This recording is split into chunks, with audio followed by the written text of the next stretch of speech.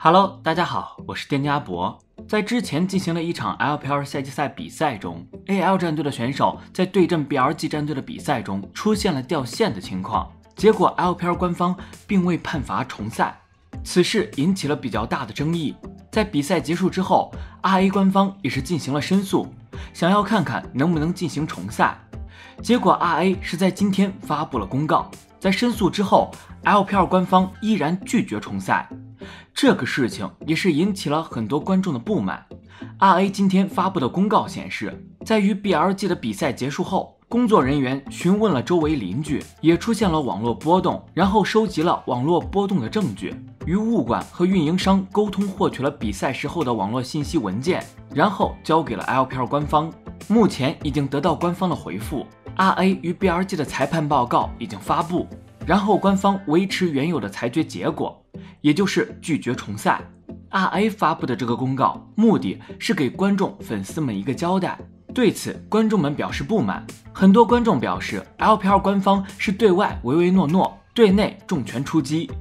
MSI 上，RNG 被要求重赛，LPL 第一时间支持。LPL 内发生因不可抗力导致的网络波动，则拒绝重赛。还有就是这个事情，LPL 官方甚至都没有发布一个公告说明一下。如果 RA 不说，观众可能还不知道申诉结果。还有的观众认为电竞入奥就是个笑话。从今年出现的各种各样的比赛事故来看，包括各大联赛以及拳头在内，都出现了很不专业的情况，不公平的比赛和判罚层出不穷。这次的掉线事件，站在观众的视角来看。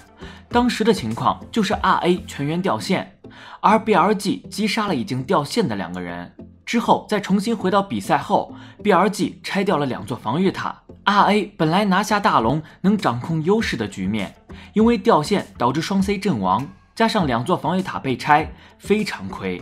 BLG 也遭到观众指责是没有体育精神。赛后，BLG 发布的语音展现了当时的情况。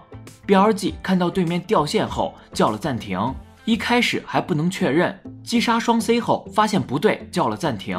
但 BLG 拆二塔的行为还是有观众表示不能理解，符合规则但缺乏体育精神。另外是 RA 这边的战报明确显示说选手心态出现了问题。赛后的第一篇公告里面，他们说明了网络的情况，比赛开始之前就知道有这个情况。然后工作人员及时报修了，维修之后进行比赛。第一局还是出现掉线的情况，RA 是第一时间和官方进行了申诉。RA 的意思就是说，赛前他们就知道网络有问题，但进行了维修，结果还是不行。第一局结束后和联盟进行了申诉，但依然无法改变出现掉线但不能时空回溯的情况。阿博认为，LPL 官方所制定的关于线上赛的规则有很大的不合理之处。简单来说，就是不够人性化。各支俱乐部、不同基地的一个网络情况有所不同，网络环境肯定不能保持一致。很多时候，网络出现波动，战队和选手不应成为受害者。出现网络波动，然后不进行时空回溯，这违背了公平竞技的原则。在有裁判的情况下，线上赛的很多规则应与线下赛一致，而不应区别对待。在这样一个规则下，可以预见未来还是会有类似的情况出现，LPL 会爆发更大的热议。在这个事件之下，RA 在发现网络出现问题的时候和官方沟通，但官方没有相关细则。依然维持只要出现网络波动，战队就硬吃这波伤害不回溯的规则。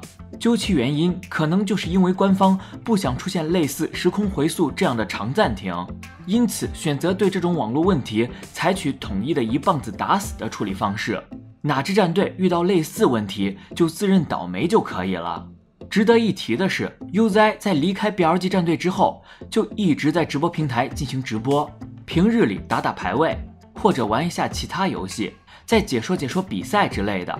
在这个过程中，观众们无意中发现，UZ 在某音的账号被封了，接近六百万粉丝的一个体量直接消失了。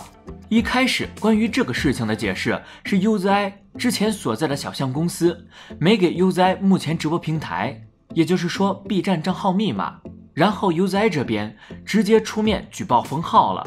之前的解释里面，小象公司是故意拖延时间，不给 UZ 这边账号密码。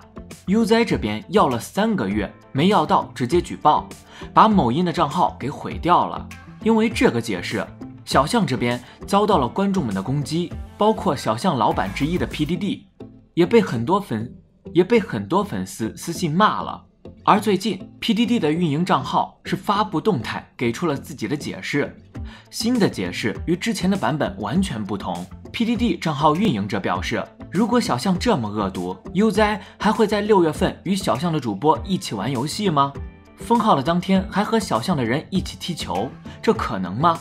然后坦言，网传的那个封号版本只是别人想要让观众们看到的版本。所谓的协商三个月，协商了这么久，协商的内容是什么？这么重要的东西为什么都没有说？然后 PDD 账号给出了他所知道的内幕，实际情况是，Uzi 离开小象之后，双方都觉得有继续合作的可能。Uzi 现在的经纪公司一直在跟小象提出可以继续运营 Uzi 账号的条件，但是他们没有想清楚，条件一直在变，所以拖了三个月。最后，小象这边无法同意 Uzi 目前的经纪公司开出的条件，就是说要求小象支付高额的一个商务保底费用，是小象需要支付给 UZI 现在经纪公司一大笔钱，然后 UZI 需要拍摄大量的广告，他本人也不会愿意。另外，在双方交涉的这个期间，双方都有一个群，共同运营 UZI 某音账号的。如果说实际情况是这样的话，那么这个事情确实不能怪小象，不存在小象故意拖时间不给 UZ 经纪公司这边账号密码的情况，而是双方一直在商讨合作的可能性。B 站这边开出一个条件，B 站这边开出一个条件，赚取更高的经济收益，但小象无法接受这样的条件。PDD 账号的运营者这边给出的证据，就是双方在六月份的时候还共同运营 UZ 的某音账号。按照之前的说法，这个时候 B 站应该是在要号的过程中，不可能出现共同运营的一个情况。如此来说，UZI 的这个封号事件的确存在很大的反转可能。PDD 这边和 UZI 的关系确实一直都是不错的，牵扯到这么大利益相关的一个账号，看起来不像是决裂的情况。阿伯认为，目前作为吃瓜群众，我们还是无法确定这个封号事件的真实情况到底是怎样。看起来这个事情也不会引起太多的注意。，Uzi 本人也没有对此做出解释，目前依然是在日常直播的过程中，也会经常与小象的人进行互动。除了这个封号事件之外，阿伯认为 Uzi 今年与 BLG 战队的合同也是一个未解之谜。之前 PDD 曾经在直播中透露，Uzi 为了复出打比赛太着急了，场外的事情没有处理好，可能指的就是 UZ 与 BLG 之间的合同。站在观众视角上，之前是觉得 UZ 迟迟不和 B 站的直播平台签约，原因就是想要上场比赛，双方僵住了。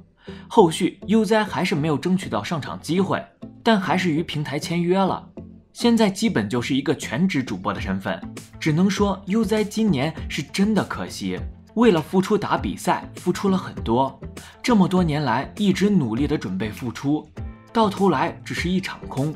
不过看 UZ 目前的状态，阿伯认为他也已经看开了，甚至可以说是认命了。一个流量再大的选手或者主播，都难逃被大资本利用玩弄的命运。